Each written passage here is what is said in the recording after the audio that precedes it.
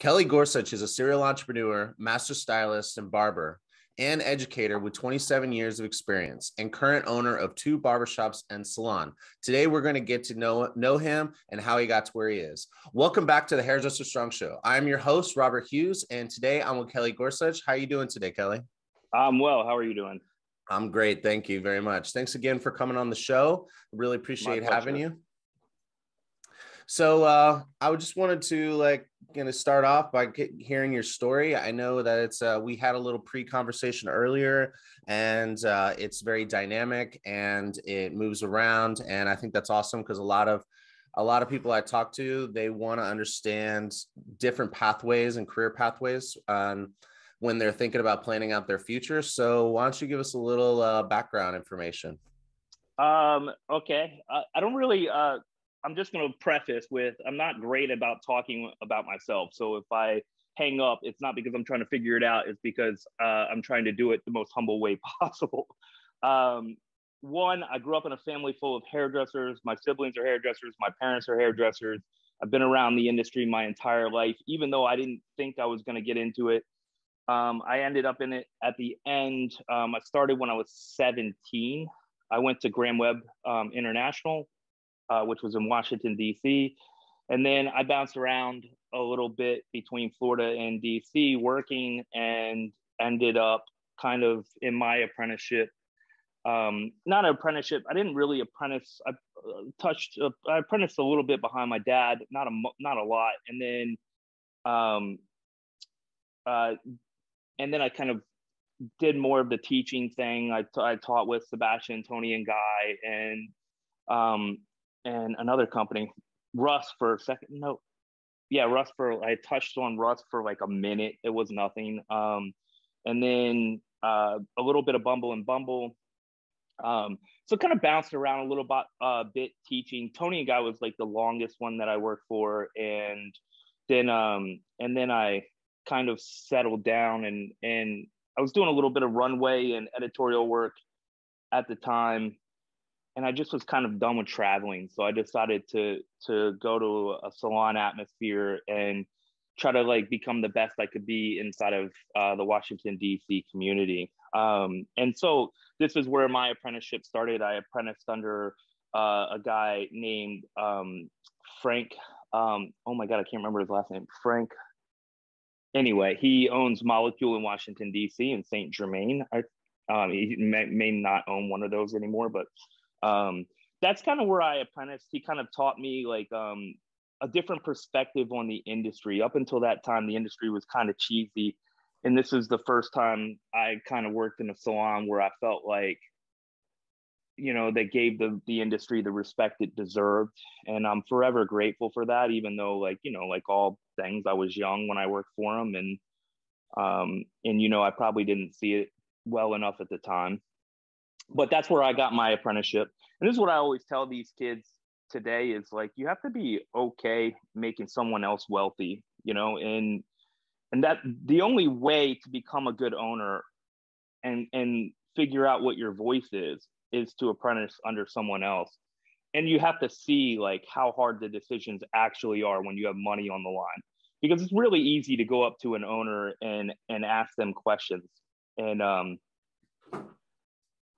and like you think it's the smartest thought ever because it's from your perspective but they're thinking from the perspective of everybody in there. They don't get to make a, a decision that's based on one perspective.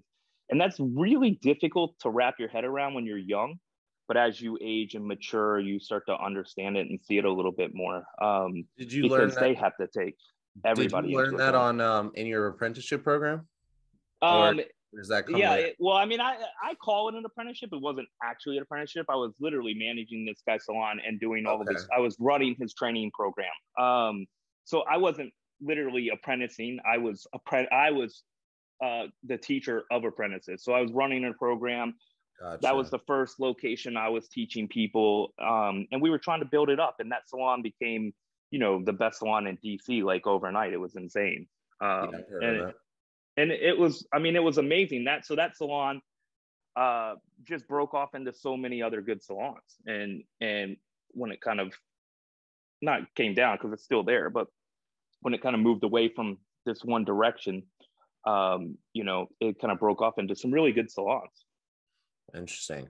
And uh, so I want to actually come back to that. So I'm just going to write mm-hmm. this little note. Um, but I want to continue with your story. Um, but mm-hmm. okay, so so you you kind of moved around a little bit. You and then you started. So you were on the floor in in Florida and a salon in a high end salon in Florida, and then you you came you came back to DC and you started managing and teaching and working with this salon.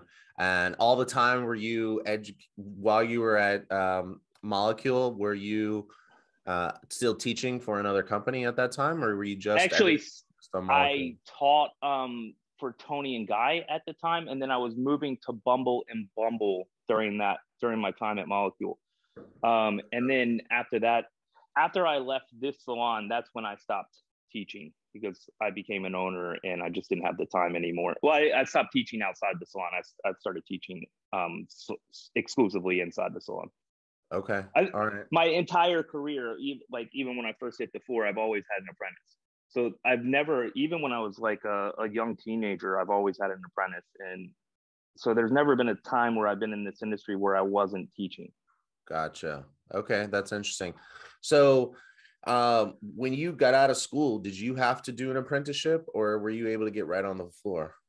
I apprenticed. I taught. I apprenticed a little bit at my dad's salon, but it was so far away that um, I didn't really go much. But uh, I apprenticed a little bit at the salon in in Florida, and when I moved back, um, I went straight to the floor.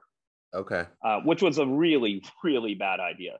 Yeah. Why is that? Uh, because you shouldn't. I, I mean, the problem is in our industry. I really believe schools have a really difficult job of teaching you how to be a hairdresser from a chair perspective. And and it's not their fault. It's really difficult to learn this. I believe apprenticeships are necessary or else you're out there just destroying people's hair. I mean there's just no way around it. Yeah. Yeah. And i did it too. So uh so you're when you said after molecule you became a salon owner um tell us a little bit about that like what was that whole process like?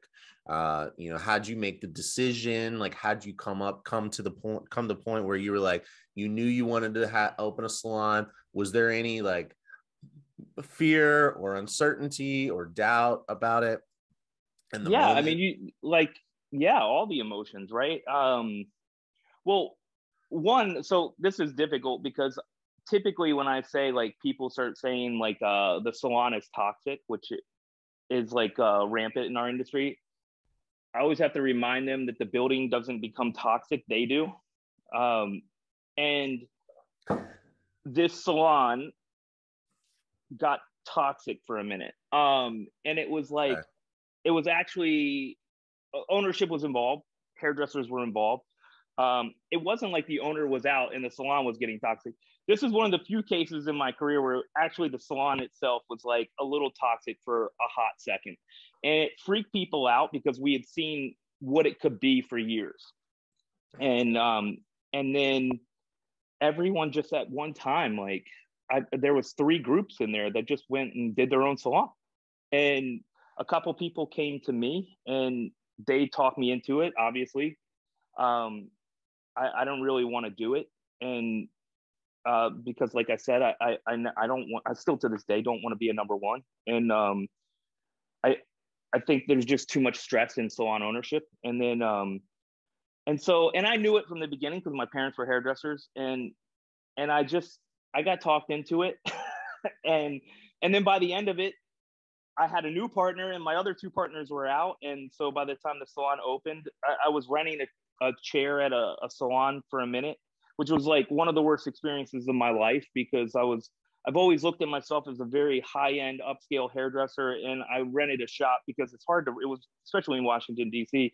was hard to rent chairs at that time in decent shops, and it still is today. And um, you know, and so I had to rent a chair uh, and and work around hairdressers I probably didn't want to work around. So weirdly, this was the worst time of my life, and it was simply because I was around people I didn't believe in, and I just really didn't like it. I wasn't comfortable with it but I believed in their vision. I believed in the voice that they wanted to do. You know, like most people open salons because of ego and and these guys you know like wanted to do it because they had a different voice they had a different vision in the way that they wanted it to work and and it made sense and so i was on board and they were a couple and it just their their relationship um opening a business is very stressful and the relationship declined while we were in it. And then i had to have i had to get someone to buy them out by the end of it. So i opened up with another um with another partner named melanie um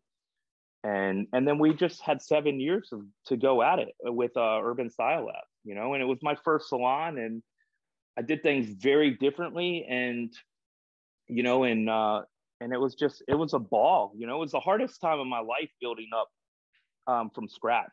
In fact, a lot of people think there's so much money in salon ownership, but it was 13 years before I made more money than I made behind the chair. Wow, 13, 13 years. years from from the day I owned to the till I made more money than I made behind the chair because what people don't realize a lot of times in salon ownership is they think there's so much money. But if you remove yourself from the scenario, that's not true. There's very little money in it. It's just that you are in almost always the owner is in the business. Well, that's not a viable business. It's only viable if you can remove the salon owner and the place could stay open right? I mean, the only the oldest salon I can think of in America is Bumble and Bumble in New York City, and they're owned by Estee Lauder. So, like, right, right. Like, like at the end of the day, they don't last very long, and you don't. You, there's no such thing as legacy. No one. There's no legacy. I mean, Vidal Sassoon is probably the closest thing to legacy in our industry, and he's gone. Gone. Right. Yeah. Like it's gone. The, uh, the average person has no idea what Vidal Sassoon did hairdressers kind of have an idea that he made repeatable haircuts and stuff, but like at the end of the day, like there's better hairdressers in our industry and you don't even know them. You know, yeah. like my, I, I talk about people all the time and and and like you know, and people never heard of them, and they're like ten years old. I mean, it's not like it was just 10 years the like the shift from 10 years ago to now is just insane insane you know like so, the, some of the best hairdressers alive today or some of the best hairdressers that have ever lived are alive today and no one knows who they are. That's crazy to me. Yeah. So why do you think that is? Um, dude, I don't know. I mean, because maybe they weren't as good at Instagram as other people, right? Yeah, like they were out of that age bracket, right? You almost skipped a generation of people. Yeah. You yeah. know, and, and I mean, whose fault is that? It's no one's fault. It's just like the way the world, the cookie crumbled, you know. But um, yeah.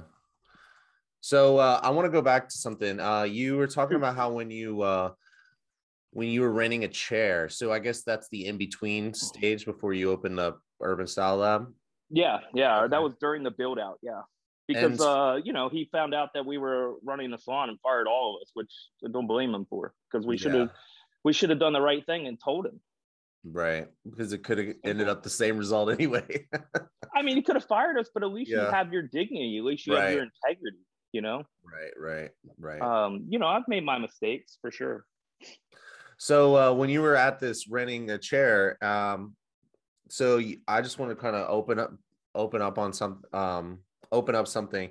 You were saying how it was the worst experience that you had and it had to do with you weren't like you weren't really surrounded by people that uh, you had a say in who you were working with and so like they weren't like inspiring you weren't really inspired there. Uh, can you just kind of like for people who um, you know your experience as a boot as a chair renter uh, something to like any any pieces of advice or or heads up that you would want to give to somebody that is thinking about t- taking that move making that oh my move. god this is this, this is an episode in itself. Um the one thing i'll say reverse engineer your career. Start with where you want to end up and what you want to accomplish. Okay. Because if it's high end that's not for you. If it's low end it's probably not for you. But if if you want to be a middle of the road hairdresser like I, can see a path there um you may not like that path though at at the end of the day. But um, you know, just being honest about it, like you're not going to be high end in a rental scenario because you have no say in who works beside you or who gets who gets attached to the name of that brand right even even salon uh, studios have a brand and everyone that works in there is contributing to that brand. And if you can't control that if there's no voice if there's no like direction there's no art direction right? That's just going to hurt you in your career. And no matter how much you think that's going to help you it's not. It's going to hurt you because it's going to limit and put a bar on how much you can charge. Say your potential was to be a $200 cutter right? You're never going to get there in a place where you don't learn to be a $200 cutter. You're like you're cutting your feet out from under you right off the bat. And then on the vice versa, on the low end, I just don't contemplate, like, I don't see how, like, I don't see how this works in a in a way where um you get benefits, you get health insurance, you're you're contributing to your it's just not possible in a low end in a rental scenario. Like I just don't I, I don't see it. Like you're better off in a, a company that's big who's going to pay your health care and um, you know you're going to share the, the trick to this whole thing is very simply uh, salon ownership is not salon ownership. It's not like some guy with a top hat counting cash in the back room stacks and stacks of money going through his coins and swimming in, in his ocean of bank account right? Like that's not what it is. Really you have to look at it like as a village leader and he is just making decisions based on the whole. Everybody's contributing to that. So you're protecting yourself with desk people so you're not having to do that. You're having shampoo people so you're not having to do that. All of these things are to help increase your wealth because if you have a cancellation the desk person should be trying to figure out how to get somebody in that to make you more money. The shampoo people should be able to get get you through shampoos while you're working on someone else. Your apprentices should be able to catch you up so you can work faster and and maybe even double book, right? I double book for a large portion of my career where I was doing two haircuts every hour at $300. You can only do that with apprentice. You can't do that outside of that, right? So, you know, you know, it's very simple to me. Is you have to reverse engineer your career and try to figure out um, by looking at it and being honest about it, right? Like, what do you want to contribute to the community? Because you're not going to do that single singly. You're uh, I don't, I don't know how to say that. You're not going to do that by yourself because you're likely to be more narcissistic. You're going to be thinking about you and buying nice cars and nice things and nice apartments and nice houses. And you're not going to be creating jobs. You're not going to be passing on the knowledge of the industry, which is incredibly important, right? I didn't get into this industry to just get rich. I got into this industry to be a part of the community, to be a part of something, that to be around people who are like-minded. So my life mattered. Um, I didn't get in it to work in uh, a prison cell, and that's what I like to call studios. And um, and like simply from the perspective of my experience, the two times I've rented chairs, both times while I was building out salons, um, you're around maniacs it's just the truth. Like you're just around a lot of people that you didn't choose to be beside you. And it's no fun. They're yelling at each other for borrowing brushes or borrowing hair product or just getting too close to each other or whatever. And it's like just like a lot of strange infighting that is insane. And it and like, you know, it's what people outside of our industry look at our industry as. And and I don't want to be a part of it, never have. Um, so you have to figure out for yourself like what you want. And I'm not saying that it, there's probably well, first of all, if we just take pure data from this, I think like only 30% of all people make it more than a year in it. Right. So just taking pure data. General, no, no, no, no. 30% make it from booth rental past year one. Oh, okay. Or, or suite rental or any of that. Only 30%. So three out of 10, right, make it past one year. So if we're looking at it like just purely off of data, it's probably a really stupid decision to, to, to go that direction. Um, maybe one out of 10 it works for for some time. I would say that, like, dude, you're probably not seeing many people retire from that atmosphere. Like, you're just not, you know, because, like, the, at the end of the day, you don't own a business, you own a job, which means that if you were to get hurt for four months and can't work, you're still paying rent you're still you still have all the expenses of the business. You have no income right? So you don't own a business you own a job. What about um what about uh i'm just gonna play devil's advocate here. Do um, it. so, i love it. um so i what about like if you i hear what you're saying and um if you have uh business insurance you should be and you get injured you should be able to get all your expenses covered uh and if you have like short-term disability uh, you should be able to get that covered. But I think the the biggest challenge in that would be the your actual book. Like, where do you what happens? How do you, what where do your clients go? Like, you don't, you know.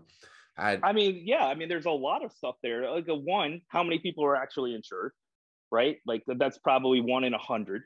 So, which is like, crazy. I don't, I don't look. The one thing I would say about me and my brain is I don't work in the anomalies.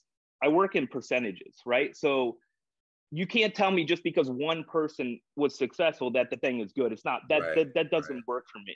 Um, you know, and so I look at it as a whole. Does it either help the industry or does it hurt the industry? And to me, it's a completely separate industry, and it's very um, narcissistic, and it's not giving back, and it's not passing knowledge, and it's not helping people long term. It's great for you in your 20s and 30s, great, but once you get past that, well, you can't cut hair forever. You got to be able you got to be able to have employees so you can then retire I, I, I, this conversation, um, I want to finish up with your story, but yeah. I'm, I'm going to say, I'm going to say, I'm going to put this down as the conversation we have, the next conversation we have, because this conversation, in my opinion, is the biggest conversation of our industry right now. But let let's yeah. let's let's circle back to this. Um, I'm just going to write this business model. Uh, okay, so let's jump. Okay, so you're you open up Urban Style Lab, and how long did you own Urban Style Lab for? Uh, I think it was about seven years. Okay, and you said it took 13 years until you made more money. So that means the entire time you were at Urban Style Lab, you weren't making more money. You were making. I wasn't making money. more money than I made behind the chair. Behind the chair, 18, right? At 18 years old. Like okay. that's as simple as that, right? Like at 18, I was made. I made more money at 18 than I made again until I was in my 30s. Okay. So that's very interesting. So then you moved on, and then what? What'd you do? Uh, you uh, from Urban Style Lab. You, what was your next move? Yeah, Ur- Urban was a, a, bit of a chore. Building your first one in a new city is is no easy task. Um, you know, it, it's the most fun you'll ever have, but it's also the hardest thing you'll ever go through. Um, you won't know it's fun until later. That's the one thing I'll say.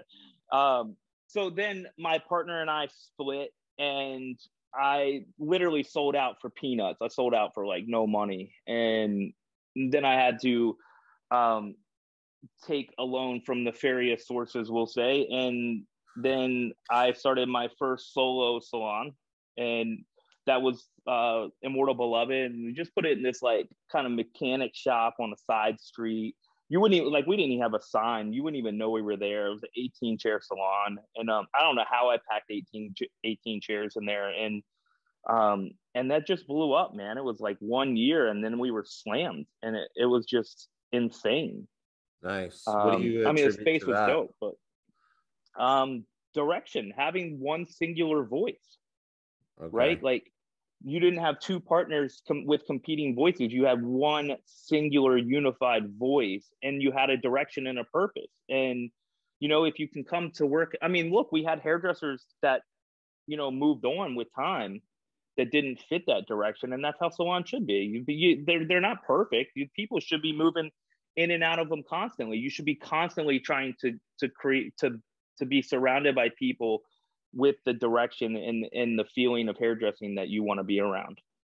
And yeah. that shop, uh, that shop epitomized it. We had some of the best hairdressers um, I've ever worked with.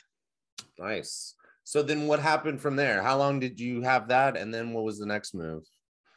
Uh, we I had that one for man, I don't even know all this stuff. This stuff is a blur, but it was a few years. Um, I think I had it for like three, four ish years. Okay. And then I um I got so busy in this shop, and and during this time, I started to develop what type of salon owner I wanted to be, and it went from, you know, when I first opened the salon, I was like something that was very counterintuitive to the way I believe. Um, I just was like, let hire hairdressers that did everything, um, you know, and let them do whatever and just step back and and be around good people. And um and i hated it. And so the next few years i spent trying to get people to focus pick one pick cutting color. If you colored i wanted you to do a specific style of color. Uh painting wasn't out yet right? So Um, at this time, it was like people were doing vivids, or they were doing microwave highlights, or they were doing um, real PC wax highlighting. There was like all kinds of like some people were doing balayage, but it was kind of it was kind of more of a French technique. It hadn't like turned into what it what we refer to now as painting. Um, hadn't really turned into that, but we were like on the beginning stages of that, and uh, it, and the salon just kind of uh, took a life of its own because I had people in it that only wanted to do men's hair, and I had people in it that only wanted to do women's hair. Like I hate doing men's hair, and um, and it's not that I hate it. I just don't like being around a lot of men that want to pay the prices I was charging at that time. First of all, you're in Washington D.C., so you're around powerful, rich people, and yeah. um, I think I stopped char- I stopped taking men at two hundred dollars. So the type of guy that was charging paying two hundred dollars for a men's haircut, uh, not the type of guy you want to hang out with for like an hour at a time. For the most part, they're anomalies, obviously. Um, so now I had like four or five dudes in the salon, a couple girls that that only did men, and um, and they became like what we now know as the barber stylist. That that movement of barbering. Um, so grooming lounge existed. They're the grandfather of barbering. No one will ever take that away from them. They they are the granddaddy of it all. And i mean other people were still had barber shops but these guys pushed the movement. Um, and it was the first time that you saw this barber styling movement was the first time you saw uh, barbers learn female hairdressing techniques. Okay? And and that's so up until this time in history barbers basically were really good at the sides and back and not so great at the top okay and so now you've added the techniques that allow you to cut the top into all these like very advanced techniques of women's hairdressing so you have this blend and I honestly had five, I think I had four, four or five, I can't remember now. I had four or five of my chairs taken up by people who only did barbered haircuts. And um and I just thought that I was losing money with it. So I wanted to open up a barbershop just to get them out of there. And okay. And uh and it's funny because I had Mike and I had Soel and I had a couple really dope people um, that are still with me today, and um, Lauren and and and some of the guys and and um, I can't remember if Jane was later and and Nicole was there and you know we just had this brilliant shop of barbers that were barber focused so it made it just made sense it was like perfect uh, organic decision to just open up a barber shop. And honestly, I was just literally praying to break even. And um and because I just wanted to be able to put my my trained apprentices who are ready for the floor in their chairs. I mean, it's literally the whole deal.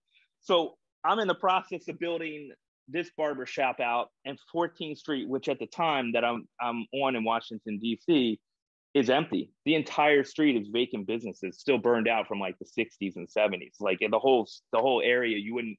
I couldn't even get people to come drink with me in that area, um, which is like where the Black Cat is and stuff is today. Yeah. And um, and then like there was an article in in the New York Times, I think, and um, and then like within a month, almost the entire street had had uh, signed leases and I freaked out and I signed a lease on one of the last remaining properties on that street. Um, so now I had three, I'm carrying three leases, and uh, which is really not smart. And and so we opened up the barbershop and the barbershop was like an instant hit, man. Like I can't even explain it. I've never had anything like it. I'll never have anything like it again. It's just an instant hit. Mike, Mike and Soel and the guys and the gang, they did such a good job. And those guys were supposed to be partners. And then um, and at the last minute they freaked out and didn't want to take the risk. And um, and to this day, like I wish they were partners and and you know, neither neither one of them work for me anymore. Soel works on or I don't even think he cuts hair anymore, but he's on the West Coast and Mike's also in Portland and he's got his own shop now. And uh and you know, like the the it's just a difficult journey and it's scary and it's risky. And honestly, I, like I couldn't alleviate their fears. Like I was pretty sure it wasn't going to make money. Uh, you know, and and honestly, like it's a barbershop, so it's not gonna it's never gonna kill, you know, but like it's comfortable. And um like a lot of salon owners get into barbering and I try to like I try to lobby them against it because it's really difficult for salon owners to to to manage barbers and and barber shops in general. Uh, it's a totally different game, and and they have a hard time with that. And um, and so that happened, and then soon as that opened, we were construction started at 14th Street, and we grew Immortal from an 18 chair salon to like a 50 plus chair salon, and nice. um, and it and it was a behemoth. And honestly, I'll I would if I I do have a 50 chair salon in Richmond, Virginia, but if I hadn't built that, I probably would never build that again. Like here, I'll never I'll never pack it the way I packed DC. I just won't let that happen ever again. Um, it's just too much to um, manage. There's too much inviting. Once you get past about six hairdressers, you start to form. There's a reason why Navy SEALs keep their groups in sixes, right? like they've studied this to the ends of time once you get past six, you you break off into factions. And anytime you have factions, you have inviting. And um, and I don't care what the salon, how great their coat, it doesn't matter. Once you get past six, you're gonna have inviting, and that's where ownership begins to suck.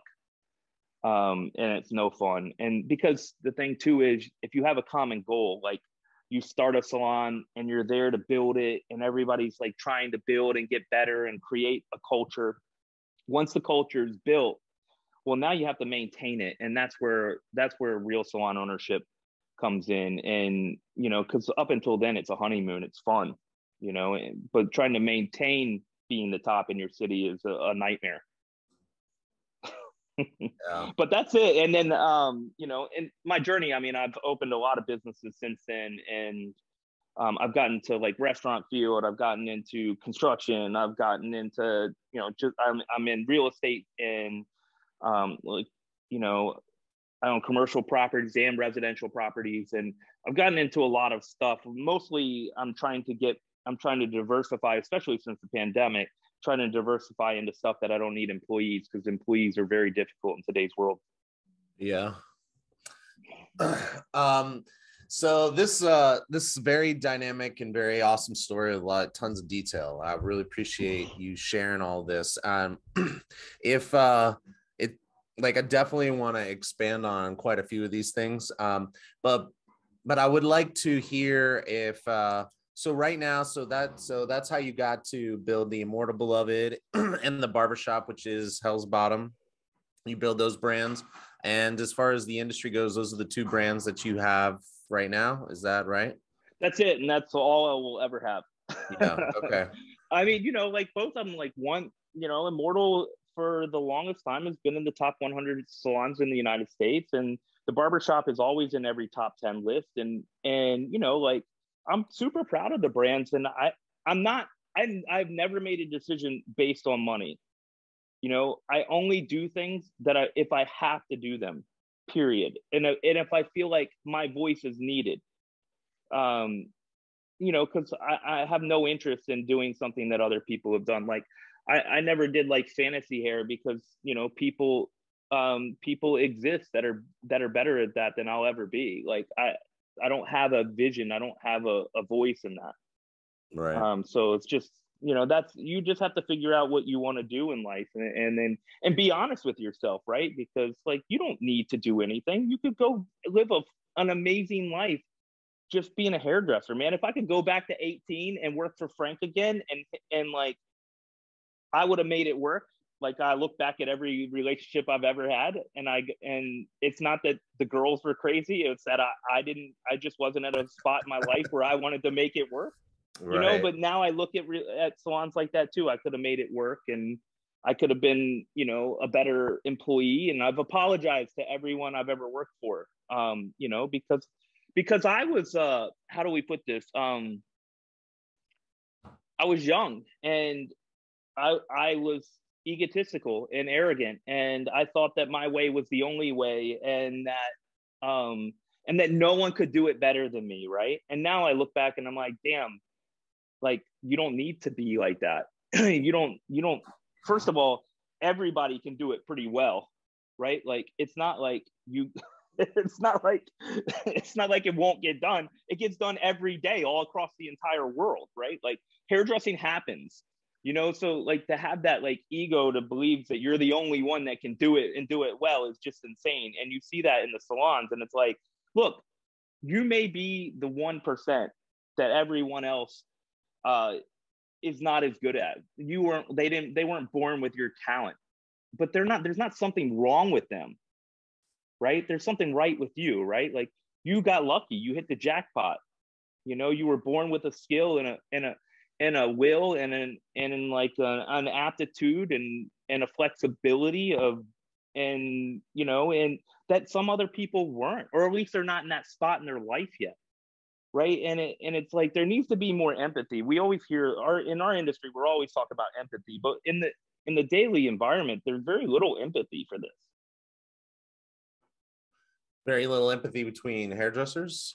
Between hairdressers, between hairdressers and shampoo people, between hairdressers and desk people, between hairdressers and owners, between hairdressers and clients, right? Like just think about like one uh, one one policy um, that illustrates this whole thing is like people's want to punish guests for not showing up. Yeah. Right? Like if you just look at that, like you start to look at how egotistical we are as an industry. Like you're gonna punish somebody for for like missing an appointment but you call out once a week like literally hairdressers are a breed of people that call out like once a week on average right they never ever think about the money that they're losing when they call out right right? Like they only think about the money that they're losing when the one person a, a day doesn't show up. And like honestly like that's built into the price. Like you just gotta you gotta take the the, the moment to sit down and read yeah. or or double book and and then you don't have to worry about it. You just do like i always had this thing where like if you just if you just sat in my chair by accident i'm cutting your hair. You know like my job is to sit behind these two chairs and if you put someone in those two chairs my job is to cut it between the hours 11 and 8 that's my job right and i don't come in i'm not thinking about what i'm doing tonight i'm not thinking about my vacation i'm not thinking about the weekend i am 100% present for my guests and if they're 10 minutes late, makes no difference. The clock doesn't matter to me. This, those schedules are, are fluid, right? If they show up 15 minutes late, I'm doing it. If they show up 10 minutes earlier, I'm doing it. If, if, if they happen to come at the same time, I got apprentices, I'm doing them, right? I'll cut one, get the other one shampooed. Yeah. Um, you know, I'll blow dry one, I'll cut the other one. Like it, it's simple to me. And it, and like, there's no reason to punish the people who are making your your dreams possible I mean, just the concept of that is just so insane. I can't even like literally it's the one thing that also it's the one thing that drives me crazy about employees because they always come up to you and, and, and you're like, I've been in this for 27 years now, and they come up to you and they go, Have you ever thought about uh charging people for not showing up? And it's like, no, man. like, no, of course not. In 27 years, I've never once thought about that you know and that's that like egotistical thing where you're like you're young and you think you know better and that like old people have never thought about the things you've thought about and all you realize like when you're later when you get a little older is you're like i'm just a young person who's now matured and have life experiences and i've and i've seen the decisions go different ways and i've seen the effects of those outcomes right um you know we live in a society that tends to value words and not outcomes. And that you know as a business owner you don't get to do that. Yeah right? So, just because it sounds pretty doesn't mean it works right? So i think that that's a um a good place to uh kind of like start to wrap it up. Um what if you i feel like that might be it but um if you had any advice for somebody who's looking who's maybe in school and thinking that the they want to become a salon owner or a stylist who's thinking about becoming a salon owner, uh, what would your advice to them be? I think the most important advice I could give anybody is is don't be a salon owner, um, and that's hard to hear from a salon owner because you're going to think that like I'm keeping you out of the end. That's not. There's so many. This is a big world, right? You have there's plenty of room.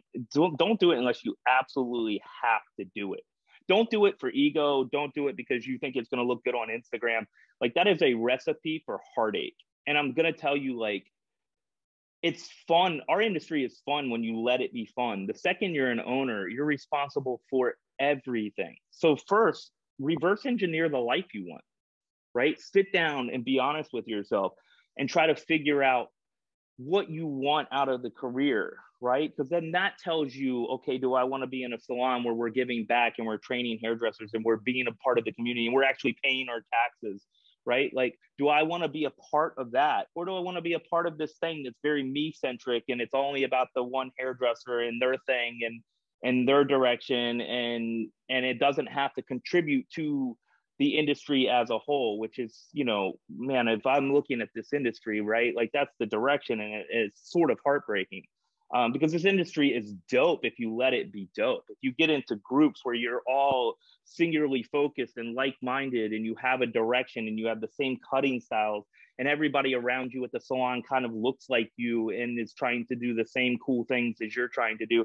this industry is fantastic. But you have to start by reverse engineering what type of career you want. If you want to be like a great hairdresser there's only one way to do it. You got to go apprentice in the best salon possible they're not there like they are 100% not there to to the thing that's true across all businesses you're talking about sub 10% profit margins right? I can tell you that the headache here is worth it. Give them the 10% right? Because what people don't understand is they're like oh yeah booth rental i can make all this money or suite rental i can make all this money. Yeah but if you do the if you do it if you break it down hourly you're not making that much money because you're you're doing all the receptioning, you're doing all the invoices, you're doing all the shopping, you're doing all the cleaning, you're doing all the laundry, you're doing all you're doing you have no apprentices, right? There's no one to help you out at all. You're you're paying accountants, you're paying tax lawyers, you're paying all this stuff, you're paying taxes on the spot. You're paying some guy that pays five dollars a square foot, like 150 a square foot for your space. Like it, it like it, it's mental. Go like like and all of the people that own those don't work in the industry so you're just making people outside of the industry wealthy, right? So like just be honest about what the industry is and and and what you want to accomplish and then go do it. Go apprentice for someone. Don't open a salon until you apprentice a man like manage for someone else. Don't don't do it until you've trained. You've trained another human being, right? Cuz the only way to make make it as a salon owner long term is to teach because you need to like beat the attrition rate. And as schools have declined, right? Like the schools we went to and you taught for like no longer exist, mm-hmm. right? If you have no schools because everybody's doing like because there's no money in the industry anymore, especially not on paper, right? Because if if everybody's booth running, they're not claiming any taxes, right? So like if you have this whole industry that can't prove wealth, like in a, in a, some places in America are banning booth rental and suite rental, right? Because if you have these, they're, they're very rarely paying their taxes, right? So you're not contributing to the community. And I, and I'm not shitting on. I'm just telling you how how it is. And and if you want to go pay taxes and like work by yourself, I dude, I'm for it. If that's the type of hairdresser you should you want to be, right? Like that's has existed from the beginning of the time and will always exist.